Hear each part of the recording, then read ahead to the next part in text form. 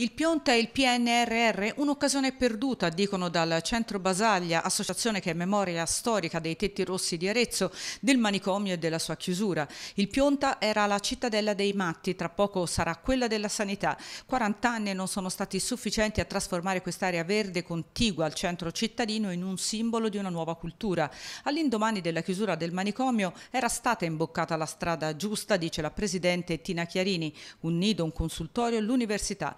Poi, nel disinteresse generale, a causa di una profonda involuzione politica, culturale e sociale, questo parco è stato abbandonato a se stesso. L'ASL, continua la presidente Tina Chiarini, ha presentato i progetti per i nuovi stabili che arriveranno grazie anche al PNRR al posto dei ruderi a imminente rischio caduta.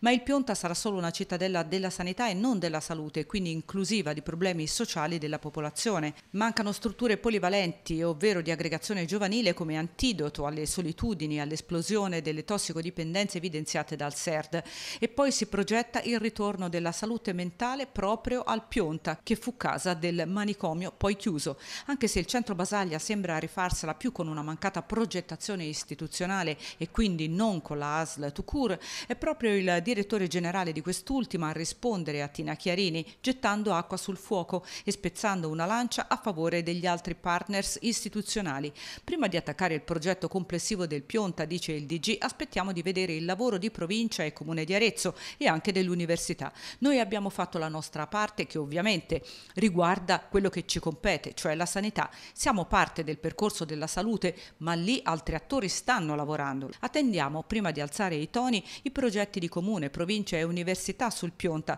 per capire, conclude Edurso, se siano o meno concepiti in modo armonico agli interventi sanitari dell'ASL.